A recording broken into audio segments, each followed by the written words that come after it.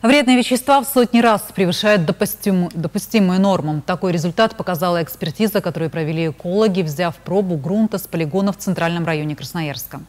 Рядом с ней расположен коттеджный поселок, да и высотная застройка Солнечного приблизилась почти вплотную. Насколько опасна ядовитая свалка для жителей города и собираются ли с ней как-то бороться, расскажем в следующем сюжете.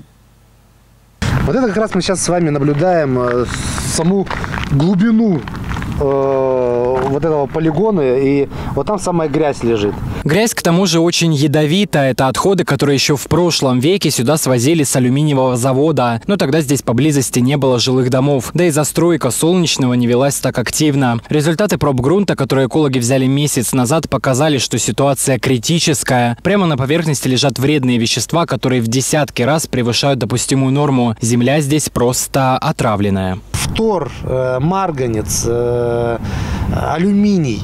То есть э, прямо ряд загрязняющих опасных веществ здесь просто зашкаливает.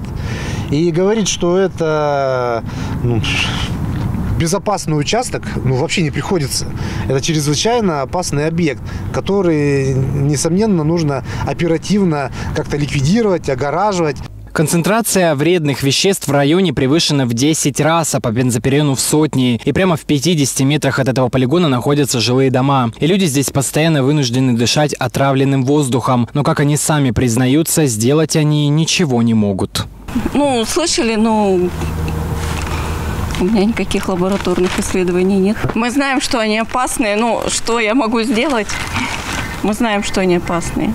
Когда-то давно здесь был карьер, который потом превратился в опасную свалку отходов, которую закопали 20 лет назад. Только теперь опасность для жителей снова очень высокая. В последние годы на полигоне кто-то ведет серьезные раскопки. Огромные ямы глубиной в 10 метров расположены по всему участку площадью в полтора гектара. Кто-то прилагает серьезные усилия, чтобы найти здесь цветные металлы, а вместе с этим вытаскивает на поверхность вредные вещества.